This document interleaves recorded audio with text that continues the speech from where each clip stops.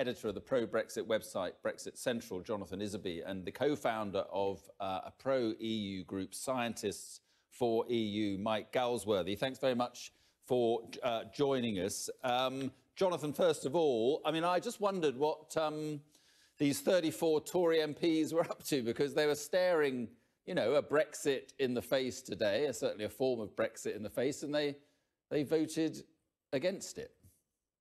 Well, of course, those 34 are made up of two groups of people. One uh, group of Brexiteers who take the view that the deal on the table does not represent a proper Brexit. And uh, I think there's a lot of people who are sympathetic to that view who did actually end up backing the deal. And there's also a smaller group of uh, enthusiastic pro-EU Remainer Tories like Dominic Grieve who are unreconciled to the referendum result and don't want us to leave the European Union, so are voting yeah. down the deal yeah. because of that reason. Yeah, no, a point taken. I mean, just on those, the you know, the Brexiteer MPs who voted against it. I mean, you know, the, uh, Boris Johnson and Dominic, the, these people had decided to back it. Why do you think that these others are still not backing it?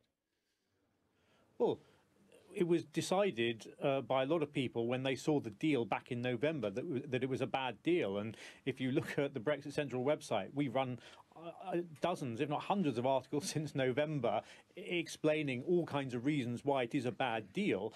None of those things have changed because even when the uh, UK Parliament, when the House of Commons voted earlier in the year uh, to say they would accept the deal if the backstop was removed, the, the so-called Brady Amendment, uh, there was a majority in Parliament for doing that.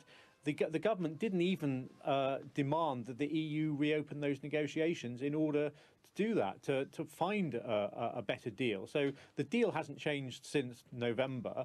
Uh, people thought it was a bad deal in November, still think it's a bad deal today, although clearly some of us, and I uh, writing editorial in Brexit Central this morning, very, very reluctantly said, I think the deal probably does need to pass today because if it doesn't, it's unclear what the House of Commons may do next week because I'm afraid John Bercow, the Speaker, has ripped up the rule book. Uh, standing orders are changing. He's allowing things to happen that have never happened before. And the Remain majority in the House of Commons appears to have taken over literally yeah. the agenda. Yeah, so that was really my point. And Mike Galsworthy, I'm just interested uh, what you think. I mean, do you think you may be closer to, you know, no Brexit now? Yeah, I mean, what is going on here? You've just got a Brexiteer here, sitting here, saying that for months and months and months they've been saying this is a bad deal, and yet now he's supporting the deal, as is Boris Johnson, as is Jacob Rees-Mogg, but they can't convince others. They're at sixes and sevens between them, and this is at the 11th hour. They can't get their act together. I reckon we should just scrap the whole thing, rip it up, and throw it in the bin now. I mean, there are some other people who are more reasonable than me who are saying we should have a long extension so that we can work it out and keep Parliament busy for a longer period of time. But yeah, overall, anything now that gets approved by Parliament should of course go back to the public. Myself, I'm ripping it up, but either way, we've got a complete mess on our hands, and it's because the Brexiters themselves are divided even at this stage. Yeah, but also there's the point that the Labour Party, I mean, it's not exactly clear what they want. I mean, you know, if, if it does go to a general election, for instance, what would Jeremy Corbyn actually campaign on?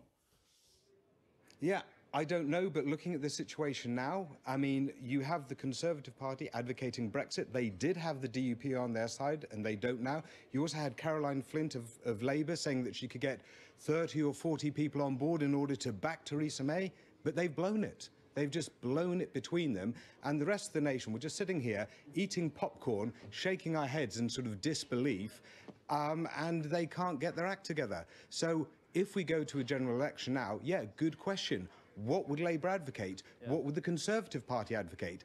It's a mess for everyone. And this is, I think, a fundamental flaw with Brexit. It was proposed to the nation without a plan uh, because it was admitted at the time by the chair of Vote Leave that you could not actually get everyone on the same page. And this is what we're seeing even at this late stage. Yeah. It is Brexit itself is collapsing under the weight of its own contradiction and its own contradictory parties within it. Yeah, Jonathan, I mean, what, what's your view now on what should happen with the leadership? I mean, because she, you know, she said she'd go if her deal was bad. That's not happened. So what do you think should happen now on the issue of the leadership?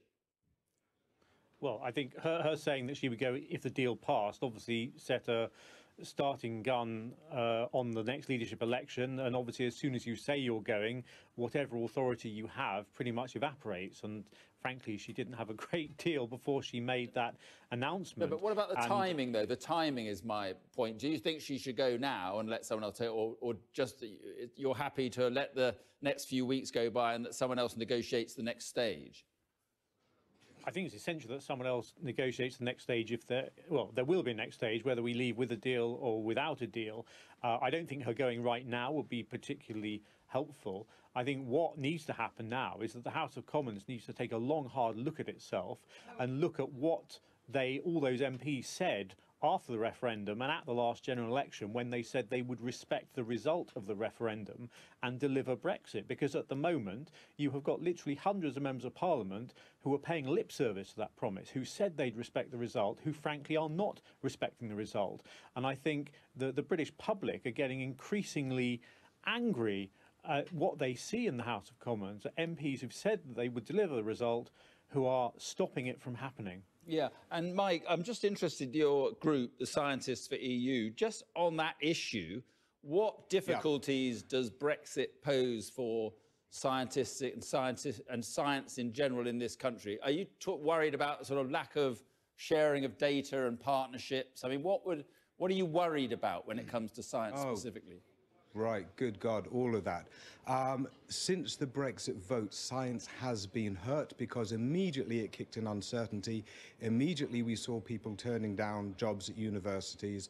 Immediately there was disruptions on collaboration. The fallen pound pushed up a lot of lab costs and prices for equipment that had been ordered. More recently, the threat of no deal has been extremely disruptive because if we do come out with no deal, then that means approximately 45% of our, our funding lines under Horizon 2020 would be abruptly stopped because no deal means no deal, including no deal for science. And so that has put a big chilling effect on UK science in our relations with, with the EU already. So it's been extremely disruptive already. Right, okay. And Jonathan, I should give you a chance to answer the point. I mean, scientists clearly very worried about funding and the sharing and the partnerships that goes on, very crucial area of science. What, what is your answer to that? Well, science and higher education are fields where the UK is an absolute world leader and where the UK will always collaborate with institutions and companies and individuals all around the world and indeed across the European Union. I mean, you know, for instance, uh, in higher education terms, the Erasmus scheme includes a number of countries which are not actually in the European Union. So there's absolutely no reason on earth why the UK could not continue to be involved in that programme outside of the European Union. The same should go for the Horizon 2020 uh, scheme as well for, for scientists. The Okay. UK is a world leader and we should be proud of that. Okay, Jonathan Isaby, thanks very But much for in joining order us. to do that, yeah. No, just final word, very briefly, 10 seconds.